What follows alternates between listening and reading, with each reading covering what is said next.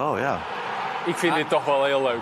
eh, in beeld kan komen voor En dus- eh, Oranje. Dan Eh, terwijl Ja, na- de- maar na afgelopen week zal het toch niet zo zijn dat we gaan... Een Braziliaanse competitie is een goede competitie. is er nu niet bij. Bij ons is Jacob Koerts, kenner van het Braziliaans voetbal. Ja, een maand geleden was je ook bij onze gast. Hoe gaat het nu met Memphis daar? steeds absurd dat Memphis ook gewoon nog steeds wel in de buurt zit van dat topscorersrecord. We willen ook buurt, gewoon man. niet dat hij dat record pakt. Dan denk ik,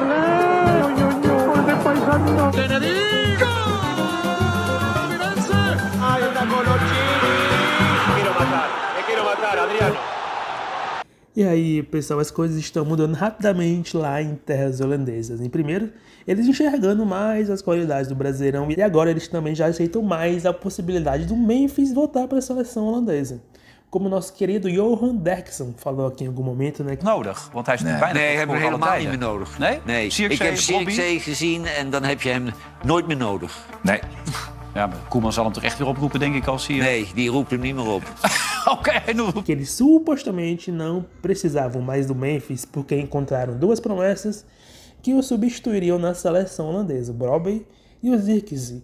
Só que o Depay escolheu um momento bem conveniente para marcar esse golaço. Nessa última data FIFA, que está bem recente nas nossas memórias, esses dois atacantes foram muito mal na seleção holandesa. E o Memphis aproveitou agora né, para colocar uma dúvida em quem já tinha certeza que ele era peça descartada na seleção holandesa. En een mooi moment voor Memphis Depay in Brazilië. Hij maakte vannacht zijn eerste doelpunt voor zijn club Corinthians. En wat voor een. Depay gaat bij een 2-2 tussenstand achter de bal staan. En die schiet hij prachtig binnen. 18 karaats in de winkelhaak. Hij had al twee assists op zijn naam staan. Maar nu dan dus ook zijn eerste treffer. Een kleine maand na zijn debuut bij de club. Uiteindelijk wint Corinthians met 5-2. En daardoor staat Corinthians nu net boven de degradatiestreep in Brazilië. Oh ja. Ik vind dit toch wel heel leuk.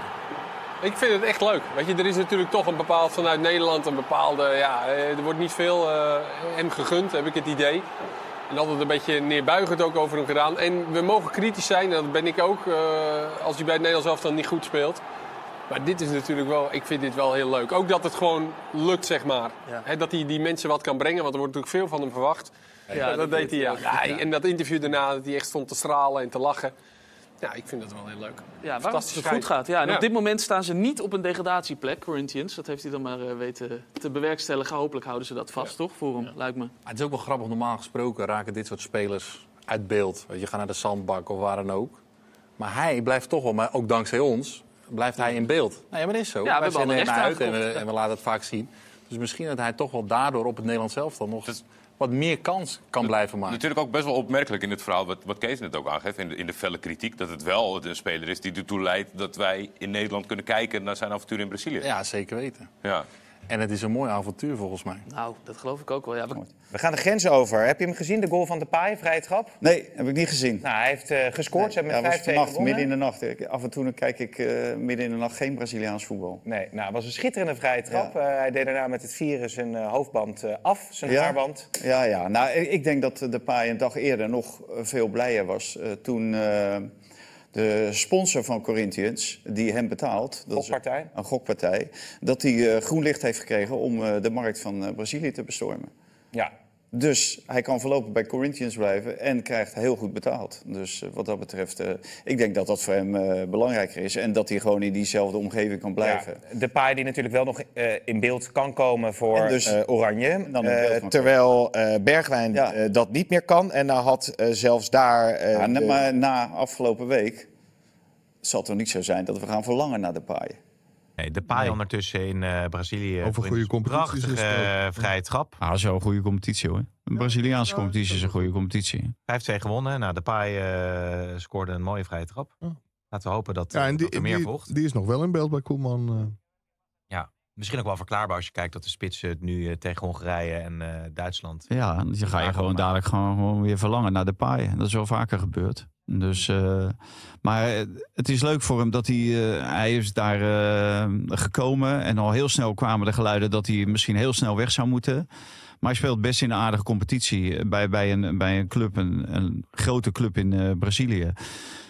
En hij mag blijven omdat eh, die sponsor eh, die eh, voor, zijn, eh, voor zijn salaris eh, garant stelt, dat hij eh, zaken mag blijven doen in Brazilië. Waardoor hij voorlopig een race kan neerzetten bij Corinthians. Ja, ja. Dus, Ja, en, en- en dan als hij, als hij daar gewoon heel goed presteert, ja, dan hoort hij gewoon in aanmerking weer te komen van het Nederlands elftal dan in de ogen van Koeman. En, ja. Een assist en een goal heeft hij volgens mij nu zijn naam staan. Eh, ja, het voetbalgeweld gaat allemaal weer losbarsten. Dus dat is, Gelukkig. eh, dat is mooi. Hij heeft alles. Maar echt een geweldig speler. Alleen, wat ik bij hem mis, is peper in zijn reet. De, de, de absolute wil zeg maar, om 30 goals te maken in een seizoen. Robbie. Serieus. Nee, maar dat, dat, dat, Ja, dat, dat, dat- dat hij, bedoel ik. Hij komt nooit in de 16. Hij voetbalt fantastisch mee. Hoor. Hij kan echt heel goed voetballen. Maar je wordt ook op een gegeven moment afgerekend op de goals die je maakt. En hij scoort niet superveel. Weet je, de Memphis dan... eh, en dan, dan vind ik Memphis nog wel beter. Hoor. Ja, die is veel sterker. De naam van eh, Memphis die viel wel even, want die zit nog steeds in Brazilië, is er nu niet bij. Bij ons is eh, Jacob Koerts, kenner van het Braziliaanse voetbal. Ja, een maand eh, geleden was je ook bij onze gast. Hoe gaat het nu met Memphis daar? Eh, in die privéleven gaat het uitstekend. hij gaat naar de Krottenwijk, hij gaat naar de bakker, hij gaat naar de restaurants. Kan dat allemaal zonder beveiliging? Dan gaat hij gewoon in zijn eentje... van het leven, het publiek vindt hem leuk, die, die fans. En eh, die stadion bijvoorbeeld was tot nu toe rond de 30, 36.000 toeschouwers. Sinds hij gekomen bent is naar 46 gegaan, 45.000. 10.000 man erbij omdat dus Memphis... ze zijn blij met hem en de club is ook heel blij met hem. Dan, dan is hij zijn geld wel waard, zou je zeggen. Maar daar gaat het eh, om. Want dat is nog een beetje het verhaal wat eh, deze week naar buiten kwam in de Braziliaanse media. Dat het maar de vraag is of hij maar eh, nog betaald kan worden. Hè? Want er zit een groot gokbedrijf boven die zijn salaris betaalt. Maar er zitten allemaal een beetje malafide dingen achter. Hoe staat het daar nu mee? Ja, dat klopt inderdaad. Hij, die bedrijf, nou ja, die, die van die bedrijf, samen met haar moeder, is net vrijgekomen van de gevangenis. Ze lopen wel met een eh enkelband. Enkelband? Zitten al- de moeder ook. Zitten samen op de bank met een enkelband. Ja. En eh, het is wel zo dat eh, er, gaat, er gaat wat gebeuren. Omdat die, die bedrijven, is rond die duizend bedrijf, gokkenbedrijven, zijn allemaal verboden nou op het moment in Brazilië. En die ene bedrijf wordt nog ongezocht naar die legale eh dingen wat ze doen. En wat, wat betekent dat? Dat Rio de Janeiro, die provincie Rio de Janeiro, heeft besloten dat zij mag wel blijven Corinthians eh, sponsoren. Alleen is wel zo dat als je een provincie dat toelaat, mag ook door hele Brazilië. Oh, dus ze hebben er eigenlijk helemaal geen last van. Dus het gokbedrijf mag gewoon blijven sponsoren. Maar alleen is die hoofd terecht gekomen en heeft gezegd: kijk, eh, jullie moeten eh, om die vergunning te krijgen allemaal papieren regelen. En ik geef jullie de tijd tot 31 december om dat te regelen. Als het dat niet geregeld wordt, dan gaan ze stoppen. Dan die, die sponsoring van Corinthians door dit bedrijf. En dan kan hij niet meer betaald worden Dat kan niet meer betaald Maar worden. dat is er gewoon betaald worden. Dus eigenlijk conclusie is, hij blijft sowieso tot de winterstop, zeg maar onze winterstop in Brazilië, tot eind december. Ja. En dan gaat hij ook dus sowieso de competitie afmaken. De competitie is tot met december. Daarom. En is Dus dat- afgelopen. Dat, maakt hij af en dan gaan we Dat zien of hij af, ja. blijft of eh, weggaat. Ja. Dankjewel Jacob voor deze goede update. Hou het voor ons in de gaten. Als, als een Europees team hem had willen hebben, was hij toch nooit naar Brazilië gegaan, denk Precies. ik ook. Hij is naar Brazilië voor het geld gegaan. Oh, nu wil Brazilië hem niet. Nou, dan gaat hij wel lekker naar de zandbak of zo. Of Ik- de MLS ik zie ik hem zelf niet in spelen. Wow, Maar- kan die wel Nee. werken aan zijn merk, man? Hij is wel een beetje zo'n social media guy en zo. Want dat kan een gast... Hij piekte bij Lyon en sindsdien is het eigenlijk alleen maar een beetje achteruit gegaan. Toen ging hij naar Ja. United, dat was te hoog gegrepen.